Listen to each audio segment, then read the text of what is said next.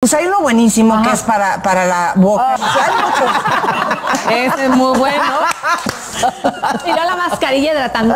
Uno de los consumismos más grandes en el mundo es el tratamiento estético y es que ¿quién no quiere retrasar la edad un poquito, verdad?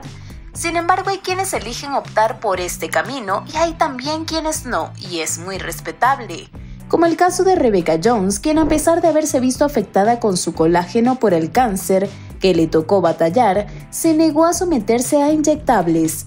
Ella prefirió llevar su edad con dignidad y disfrutar de los años en el tiempo. Yo ya no me quise poner inyectables. Yo sí soy más de 60. La actriz estaba consciente de que el tiempo no espera y a pesar de haber tenido hoy en día las facilidades por retrasar esas molestosas arruguitas, quería llegar a la vejez con un rostro normal. Si no tienes cuidado, tu cara empieza a tomar una forma rara.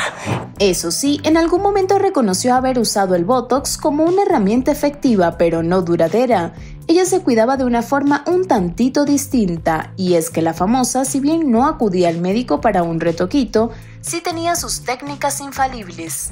Pero pues yo sí soy partidaria del face yoga. El face yoga es prácticamente una estimulación de los músculos que tiene como resultado darle la firmeza que el rostro necesita, en zonas específicas como la papada. Se te quitó la papada. Cierto, y, los, lo comparten. Sí, el Me quitaron toda la línea.